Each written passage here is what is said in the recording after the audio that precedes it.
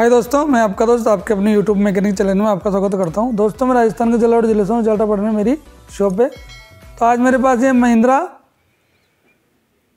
पाँच सौ पंचानवे टर्बो आया हुआ है। दोस्तों, हमने इसका गियर खोला है, क्योंकि इसमें प्रॉब्लम थी कि इसका फ़र्स्ट गियर छटक रहा था बार बार निकल जाता था तो हमने इसका गियर का काम करना है। और हम इसमें क्या नया डालते हैं? इसके फ़र्स्ट गियर में दिक्कत थी और रिवर्स गियर में दिक्कत थी। तो दोस्तों, ये इसका हमने गियर निकाला है।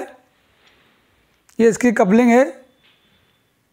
दूसरे, तीसरे की ये इसका फ़र्स्ट रिवर्स तो हमें इसकी फ़र्स्ट रिवर्स की गिरारी नहीं डालना है और इसका जो काउंटर है, ये भी आप देख सकते हैं। इसके दांतें ख़राब हो रहे हैं तो ये भी हम नया डालेंगे।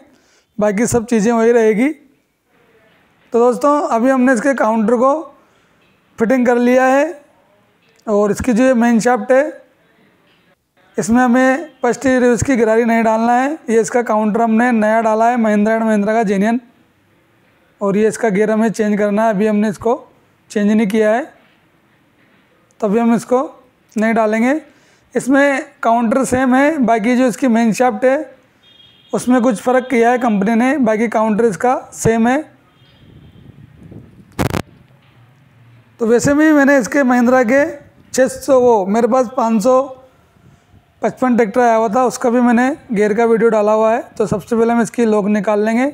लॉक निकालने के बाद इसका ये बेरिंग और ये इसका गुट्टा निकाल लेंगे। उसके बाद ये इसकी टाप की गिरारी निकाल लेंगे। तो ये इसकी अपने टाप की गिरारी निकाल ली है। इसके बाद हम इसकी ये टाप की गिरारी की जो कपलिंग होती है, उसको बाहर निकालेंगे। तो कुछ इस तरीके से इसको बाहर निकाल लेना है। ये ठुक के लगती है थोड़ा। उसके बाद हम इसका ये वाइशर है पतला वाला, इसको बाहर निकाल लेंगे।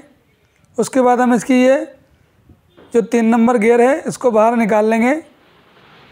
ये इसका तीन नंबर गेयर है और ये इसकी कपलिंग है। ये इसकी कपलिंग है, इसको भी हमने बाहर निकाल लिया है। उसके बाद हम इसका ये दो नंबर गेयर बाहर निकालेंगे। ये इसका दो नंबर गेयर है और ये इसका बुच, दो नंबर गेयर का और ये इसका वाइशर, मोटा वाला वाइशर है इसमें। और दोस्तों, इसकी ये लॉक है। इसकी लॉक निकाल लेंगे तो उसके बाद ये इसकी जो गिरारी है फ़र्स्ट रिवर्स की तो ये बाहर आ जाएगी। तो इस तरीके से हमें इसको लॉक को बाहर निकाल लेना है। उसके बाद ये गिरारी बाहर आ गई इसकी। इसी तरीके से हम इसको वापस फिटिंग कर देंगे। दोस्तों, अगर वीडियो अच्छा लगे तो वीडियो को ज़्यादा से ज़्यादा लाइक करें कमेंट करें और शेयर करें। तो अभी हमने इसकी ये फ़र्स्ट रिवर्स की जो गिरारी है, इसको लगा दी है इस तरीके से। उसके बाद हम इसकी ये लॉक लगा लेंगे। कुछ इस तरीके से ये फिटिंग हो जाती है। उसके बाद हमें इसके दो नंबर गेयर और इस बुच को लगा लेना है।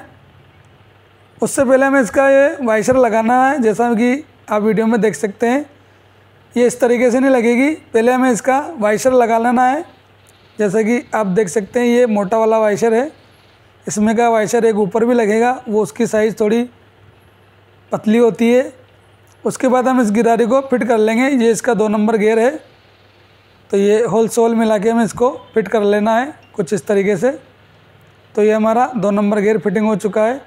उसके बाद हमें इसकी ये कपलिंग फिट कर लेना है। कपलिंग फिट करने के बाद हमें इसका जो तीन नंबर गिरारी है, उसको फिट कर लेना है और ये कुछ इस तरीके से इसका बुच फिट हो जाएगा।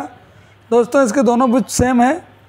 इसको आप कहीं भी लगा सकते हो, ऊपर नीचे, कैसे भी लग सकते हैं, कोई दिक्कत नहीं है। दोनों जो बुच हैं, इसके बिल्कुल सेम है। उसके बाद हमें इसका एक वाइशर लगा देना है, पतला वाला। उसके बाद ये कपलिंग, टाप गेयर की, और ये टाप गेयर इसका कुछ इस तरीके से लगेगा। उसके बाद ये हमें भुट्टा लगा लेना है और उसके बाद ये वाइशर लगाएँगे, वाइशर लगा के लॉक लगा देंगे। तो ये हमारा गेयर कंप्लीट हो चुका है। दोस्तों, वीडियो पसंद आए तो इसको ज़्यादा से ज़्यादा लाइक करें कमेंट करें और शेयर करें। धन्यवाद दोस्तों।